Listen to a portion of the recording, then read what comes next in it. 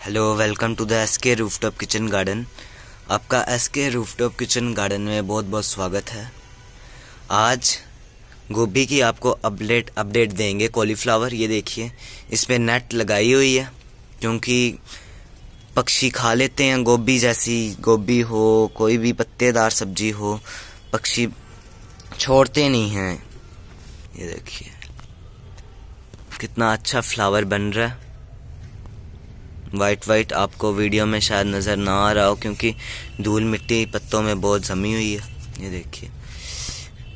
ये कॉलीफ्लावर का अपडेट है। ये देखिए। कई फ्लावर हमने हार्वेस्ट कर लिए हैं। कई, ये देखिए, इसके साथ में कितने प्लांट्स लगे थे। ये देखिए, ये कितने, इधर भी सारे कॉलीफ्लावर के ही प्लांट लगे थे।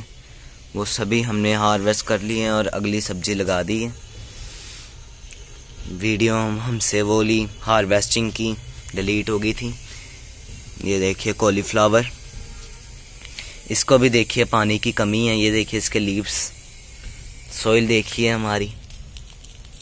पूरी ड्राई हो चुकी हुई है। अब पानी डालेंगे खाद वाला। आप भी लगा सकते हैं फूल गोभी